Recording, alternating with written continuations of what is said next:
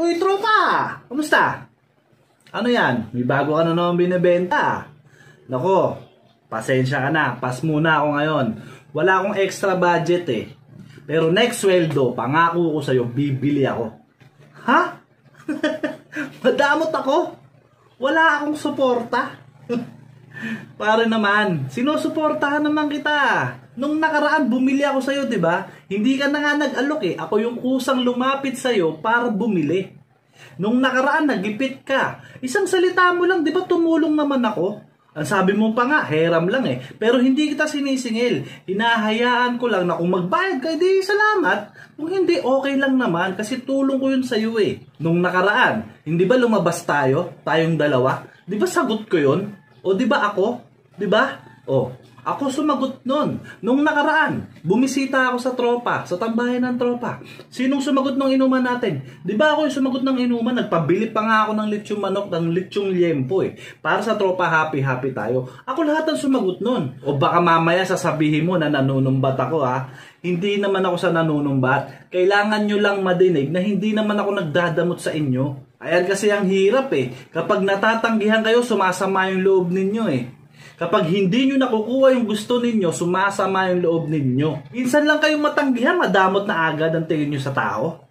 Huwag ganun tropa. Yan ang hirap eh. Sa sampung oo sa inyo ng tao, laban sa isang hindi, masama na agad ang tingin nyo sa tao. Ampo-tampo na agad kayo. Masamang tao na agad. Madami na agad kayong sinasabi. Galit na agad kayo. Tapos ikukwento nyo ako sa ibang tropa natin. Ipagkakalat ninyo na kesyo ganito, kesyo ganyan.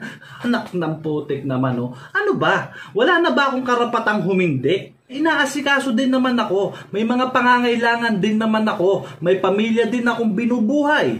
Bukod pa doon, madami din akong tinutulungang iba. May mga priority na tayo sa buhay. Ano ba naman yan, tropa? Pero kahit pag ganon, nasuporta pa din naman ako sa inyo eh. Huwag naman sanang sasama ang loob ninyo kapag nahihindian ko kayo.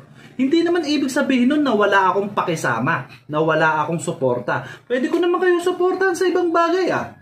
Hanap tayo ng ibang pagbebentahan. 'Di ba? Yung may pera, yung may budget, yung may extra. Or gusto mo, ako na magpo-post sa social media ng mga paninda mo. Pero hindi na ako hihingi ng komisyon. Dahil tulong ko na lang yun sa'yo. Kasi kayong umaasa sa iisang tao lang. Sa mga kaibigan lang natin. Sa mga nakapaligid lang sa'yo. Ang daming-daming tao sa mundo, tropa.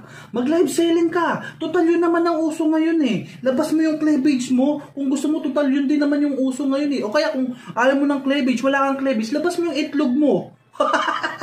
yung fresh ha, at saka yung hindi maalat. Intindihan ko naman na may pangangailangan kayo. Pero isipin nyo din naman sana na may kanya-kanya tayong pangangailangan. Huwag na sana sasama ang loob ninyo kapag natatanggihan kayo. Kasi ikaw lang din yung sumisira sa araw mo eh. Sa halip, doblehin mo pa yung pagsisikap mo. Dumiskarte ka ng ibang pagkakakitaan. Diba? Ganun lang yung tropa. O siya, Umahaba na itong usapan natin eh. Baka kung saan pa ito mapunta. Eh well, ganun talaga. Diba? Pasensya ka na. God bless. ha? Bawi na lang ako sa susunod na pagkakataon. Ha? Love you. Malas mo ang Bye. angas ko Tutututangin na mo ang malas mo Ang malas mo kasi maangas ako Di lang maangas, di lang matalas Bagong halimaw, luka ng dalas Dala ng lete, sa amin ni Focus Totoo lang walang halo ng modus Kaya maangas, ibubuga to Iwas sa ahas, baka matukso Batang tundo